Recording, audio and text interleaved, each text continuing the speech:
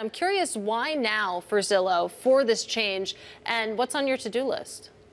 Why now is because the business is doing so well and we're excited about the strategy ahead and the growth into the future. We laid out a transaction strategy, moving Zillow from an advertising company to one that is more focused on helping people actually buy, rent, and sell with Zillow and our partners a few years ago. And you're seeing the results of that strategy really bear out.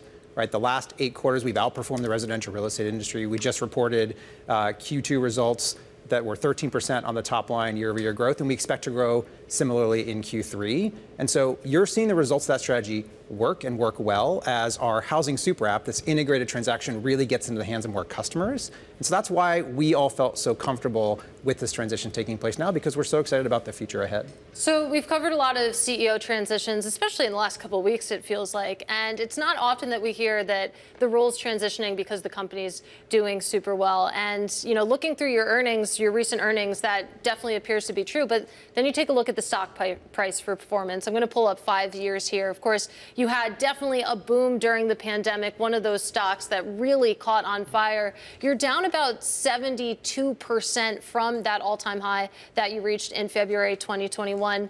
How much is that on your mind? When you think about your goals now in this role officially, uh, do you want to get back to those heights? Our goal as a company is to grow our share of transactions. We, many of us use Zillow every day. We love Zillow. We're on Zillow dreaming. And most of America knows us for dreaming and shopping.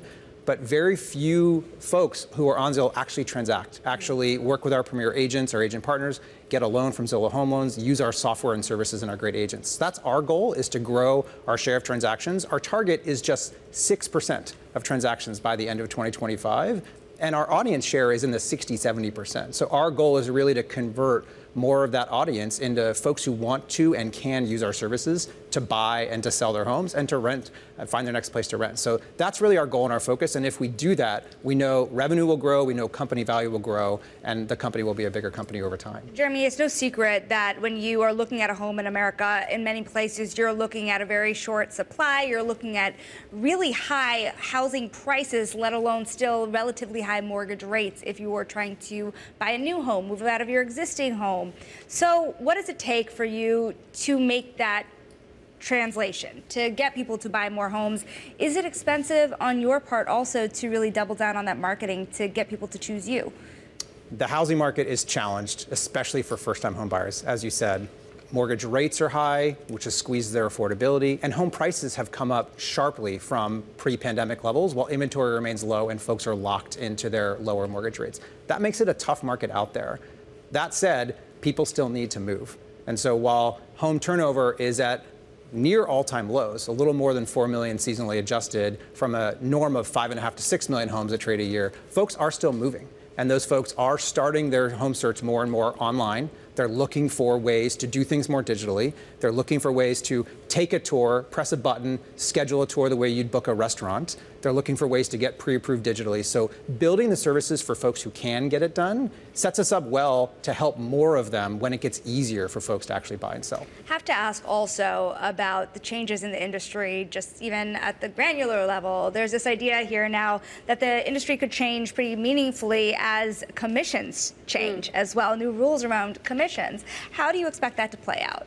Yeah, the changes that came as a result of a settlement, right, in the industry, we see as evolutionary, not revolutionary. And those evolutionary changes are great for consumers. They're really about helping buyers and sellers get more educated. Now, every buyer has to sign a contract with their agent, whereas before they, they might have or they might not have, depending on who they worked with. That's going to lead buyers to understand how the process works, understand what things cost. But Jeremy, what does it mean for you? Can Zillow be making any changes to kind of lean into these new changes? Absolutely. One of the big things we did as the settlement came out was we pioneered an agreement, a buyer's agreement with our agents. And so we led what we call a touring agreement. Our big focus is ensuring that buyers and sellers are in control and are empowered. And so it's really important for us to make sure buyers can make a choice, that they're in control. And so when they sign an agreement, maybe you sign a non exclusive agreement first as you're shopping around and finding an agent before you you know, move from dating to getting married to an agent and you sign an exclusive agreement. So we led the industry to pioneer what we call a touring agreement so that these buyers, especially first-time home buyers, as they learn the process, they are able to make the right decision for them. They can shop around and find a great agent. It's like Hinge for homes. Yeah, there you go. That's a you should uh, patent that one. But I want to go back to the rental market because you've brought it up a few times, and of course, uh, Zillow owns Street Easy. Mm-hmm. I have the app. I just signed a two-year lease. I'm on it every single day for whatever reason. But when it comes to the rental market, as we you know continue to muddle through this kind of frozen buying market, what activity are you seeing there?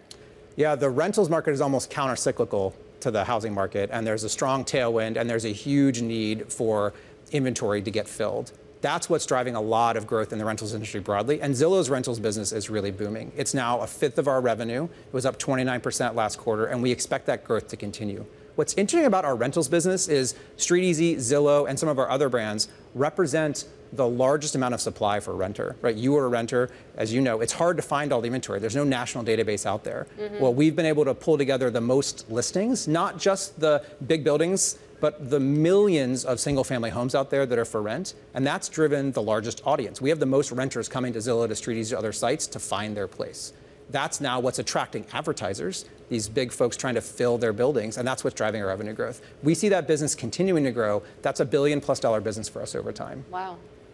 So, how do you think about the impact that the interest rate reductions would really have? At the end of the day, you're still sitting with many Americans with mortgage rates sub 4%. And so, even a reduction in interest rates at this level wouldn't really help that issue. So, what does the conversion rate look like as rates come down?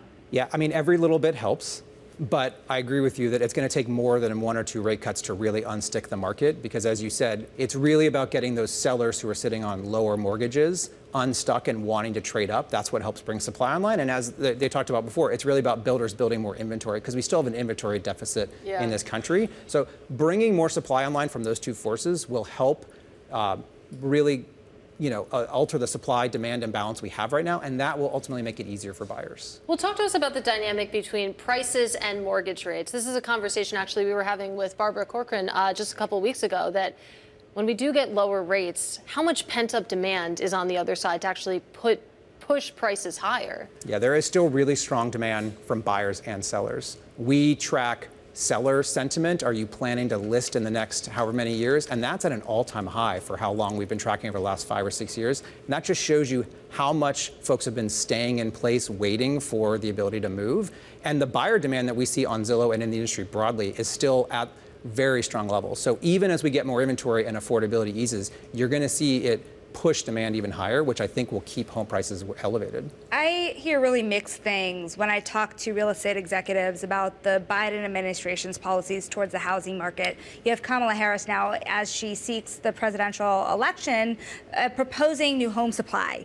People love that, but they don't love the rent caps. How do you think of these policies? Yeah, the great thing about working at Zillow, we've been around for 20 years and we've worked with whomever's in the White House. The big challenge is on affordability, and we're really focused on consumer education. A big part of affordability is making sure people make the right decision for them, get a mortgage they can afford, make the right decision, and work with a great agent. The larger macro issues around bringing more inventory online and unsticking sellers need to flow through for the market to get back to those levels you talked about. You know, we're down at 4 million homes trading right now, which is close to an all-time low.